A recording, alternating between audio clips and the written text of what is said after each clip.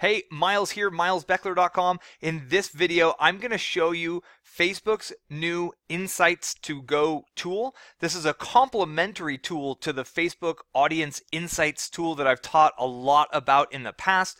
And really, the goal of this tool is to help you go deeper into the user behavior of your audience. Whereas the Audience Insights tool is to understand who that audience is, how much they make, where they live, what they like, etc. This is to help you understand what they engage with, what they're doing online, and some kind of broader picture user behavior content to help you kind of craft your campaigns, craft your ads in ways that are going to boost and get the maximum amount of engagement. And obviously, when you do that, you get better relevance scores, you get lower cost per click, lower cost per conversion, and everything else works. Because as a Facebook paid advertiser, your goal is to contribute to the positive user experience of Facebook's audience. And when you do that correctly, you get rewarded with better prices and better traffic. So this tool is designed to help you with that. And let's jump in and take a look at how this works. So you can see right here, it is the Facebook Insights to Go. It's beta right now. I don't know if everyone has access to this. I don't know if it's a, a countrywide or how they're rolling this out, but this is it. If you want to get access to it, simply go to Google and type in Facebook IQ. And you can even do IQ Insights if you want right here. And you can see it comes up. It's the first one that comes up right here. It's facebook.com slash IQ and you just click on this. Now, this takes you to the main Facebook IQ where they've got a bunch of different insights. If you go through these, what you're going to find out is they, they're writing these articles trying to help you understand user behavior. I don't really like any of that. It's kind of a waste of my time. So, under tools and resources, you go to insights to go. And you can see we're here at the at the page and you click get started. Now they explain how to do all this, but I figure it's just as easy for me to kind of show you how this works. So you can see right here, we've got these kind of filters up top. Now you want to start to play with these filters and yes, you can stack them on top of each other, but you might be getting the information too narrow and too tight. And you'll see when you get it set up, you get different cards worth of information. So you can, you can search if you're, you know, a US based advertiser, you can kind of narrow it down. Um, but I prefer to go in either by industry or by people, right? So industry is your industry. So let's say you're in the travel industry. And let's just click on travel. And what happens is you can see it's now got this travel filter right here. There's 68 results, meaning there's 68 tidbits of information available to us as advertisers about these people. So some of the top Instagram hashtags about honeymoons, honeymoon, mini moon, Interesting. So what I can take from this is if you're running a travel-based website, if you're trying to teach people travel hacking, there's a chance that going after the mini moon kind of sub niche within travel, within honeymoon. And if you teach people how to get free flights for their mini moon, you are hyper, hyper targeted with who you're going to identify. Then your landing page can be hyper, hyper targeted towards are you planning a mini moon or a honeymoon? Want to learn how to get free flights? Click my or enter your email address and get my free report now. And the reason is specificity wins. When you're talking to that user, it's not just like, hey, you want to travel? Like, eh, kind of. Like, hey, that honeymoon you're planning, are do you want to get free flights for it? Be like, yes people are spending a ton of money on their wedding already. So I, I don't I'm not going to get too deep into this, but I think you understand where I'm going. You're looking for inspirational ideas that can come from what you're getting from here. Um, so mobile travel booking is increased. Obviously, keep your landing page mobile friendly. And here's where you get really, really kind of interesting stuff. So you can see 83% of travelers in Brazil say they were inspired by Instagram. Obviously, if you're not in Brazil and you want to be like, you're like, oh man, but I'm US based only, you would come up here to region, you would click that, and you would select US. And what's going to happen is it's going to add this to the filters. Now we have 51 results and we've excluded all the results outside of the US. Um, 42% of travelers say they like to follow travel providers online, etc. So it's just tidbits of information. Here's something that's really, really important to pay attention to 64% of travelers used two or more devices when planning their last trip.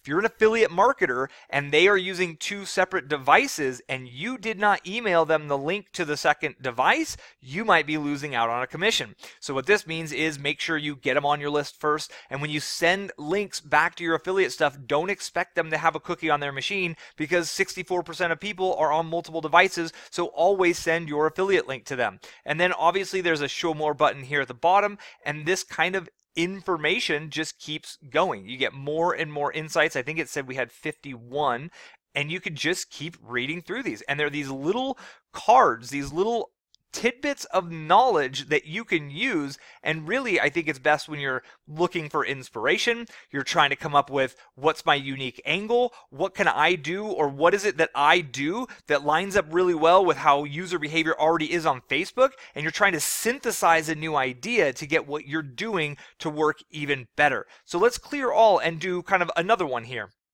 So I'm going to clear all, and I'm going to start here with the people, or seasonal. Let's try seasons, right? So we are today is the first day of autumn and we are quickly, quickly coming up to Cyber Monday. If you are doing anything with a Cyber Monday campaign, you're probably already laying the foundation and you're definitely thinking about your um, advertising campaign for this. So here you go. 41% of Cyber Monday conversions were on mobile.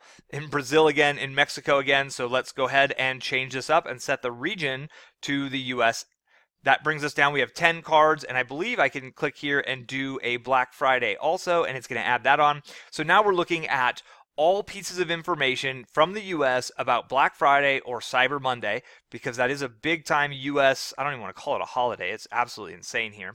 But you can see among US millennials, 44% of Cyber Monday conversions visible to Facebook happened on mobile.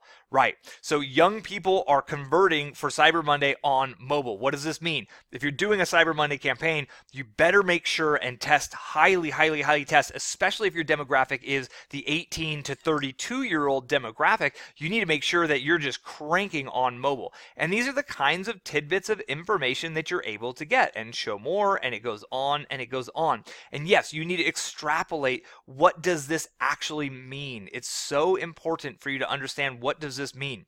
Now, you can get into their campaign planning. I don't really use this. I just jump in and make my campaigns. Um, my planning happens kind of in notepads and um, you know, it's it's really just something I'm more interested in um, hashing out here is getting the information about people. I know a lot of friends, they run Halloween kind of contests. They run special things for Halloween every year to grow their list and to make sales. Here's the information about Halloween stuff, right? You can look at these different insights and it goes more and more and more. And then finally, if you wanted to, we can leave it on US and we can just go women in the US. If you know your target market is women in the US, you could just search and learn more about how women in the US are utilizing Facebook. So women in the US talked about Thanksgiving 1.14 times than men. Like that's one that's not much. That's a very small uh, number, which is really interesting. But th- this is the game, right? You're mining for data. You're really, truly going through here, looking for these tidbits of information, for these insights about your market. Are you in the beauty niche? Let's go ahead and look at the beauty niche because I know that beauty is huge on Instagram. And what I'll do is I'll turn off US and I'll go into industry, beauty, and health. So now we're looking at all of the kind of results based on women who are interested in beauty and health worldwide. I'll go ahead and put that to North America. We'll um, kind of include our friends up in Canada as well as US. And not much information here. And this is what happens when we add too many cards to this, but you can go and remove the women segment here. You get 25 in the beauty and health. You can remove North America and just looking at all the beauty and health insights, you have 83 different results. So how you're going to use this tool is going to vary significantly based on where you are in your funnel creation, in your kind of customer avatar creation process. And, you know, are you already selling products?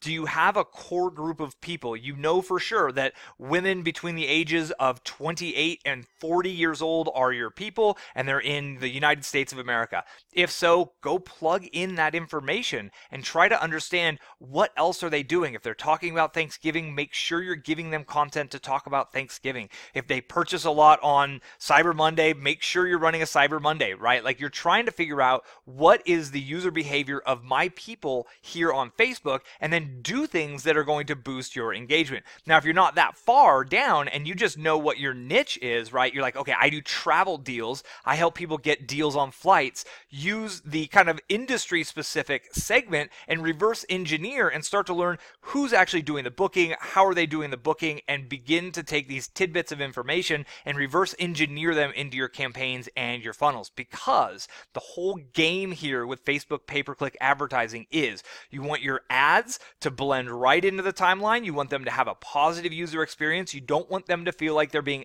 advertise to. You want to connect with them, tell them stories, engage them, and get them to engage you. That's when your advertising works best. And the how to, the little kind of inspirational aha moments, are hidden within the data here in this new insights tool and within the audience insights tool. It takes practice, takes synthesizing ideas. You got to mull this stuff over. I like to think about the stuff when I go hiking and when I get out in nature. That's when the ideas really kind of start to synthesize, but I have to seed my brain and my consciousness with these little tidbits of information before my brain and my subconscious can synthesize these ideas. And this is a perfect way to leverage what Facebook is tracking on all of us. It's a little creepy, it's a little scary, and Facebook definitely is a lot of creepy and a lot of scary. Don't trust the dude who runs it at all, but that's a whole nother story. But you get to use this information and leverage it to increase conversions, to increase engagements, and ultimately to create a more profitable business online. I hope you found this video to be helpful. If you have, give me a thumbs up here in YouTube. I do appreciate it. If you have any questions for me,